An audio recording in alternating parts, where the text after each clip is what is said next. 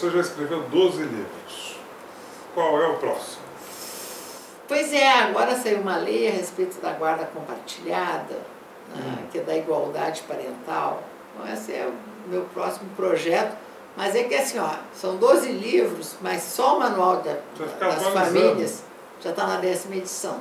Tá saiu agora, né? A décima edição, abre o, o da União Uma Afetiva está na sexta edição, então se eu somo todos dá 42. O que você faz nos seus momentos de lazer? Você gosta de festa?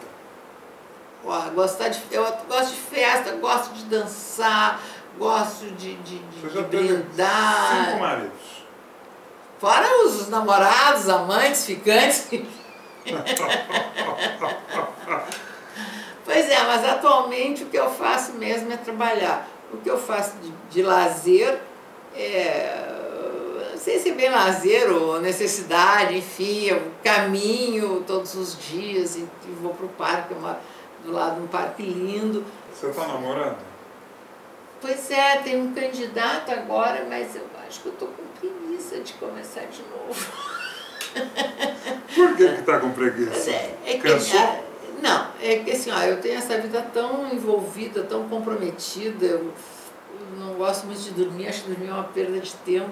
É verdade? Eu, é, eu tenho horror daquela pergunta assim, vamos dormir bem, não aguento isso.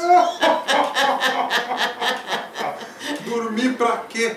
É, então assim, ó, eu tenho uma vida muito independente, vivo sozinha, os meus filhos estão todos independentes, enfim. Sozinha? Calma, gente. Hoje está sozinha. Teve cinco maridos, três filhos. É agitadíssima. É, então, mas assim, ó, e, e assim, ó, dentro da minha casa eu tenho um escritório que funciona, fora o meu escritório profissional. Eu, as viagens que eu faço, todas elas, para alguma palestra, alguma coisa.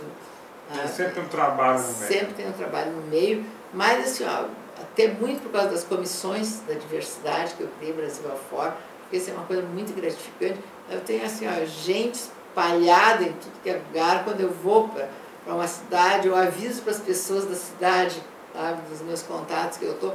Sou recebida com tanto carinho, então esses são os momentos que eu me concedo um pouco na vida de, de, de, de interagir com as pessoas, de confraternizar com as pessoas.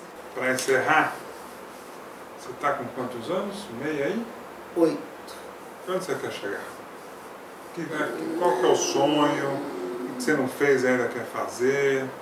Pois é, eu acho que eu, eu queria ter neto, né? Ainda não tem nenhum. Se viesse um neto gay, o que você faria? Como você reagiria? Ah, mas eu acho assim, ó, eu, eu prego tanto o direito ao respeito que eu, com certeza, ó, neto ou filho não me atrapalharia. Obrigado me receber.